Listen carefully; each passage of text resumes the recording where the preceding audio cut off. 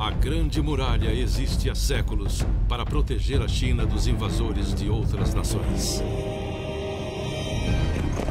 Mãe de Deus. E também para defender seu povo de perigos que vão além da compreensão humana.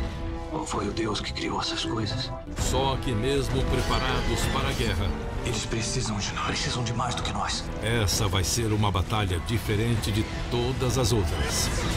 E existe alguma chance? Somente uma. Matar a rainha. Ou todos morremos. A Grande Muralha, segunda. Em tela quente.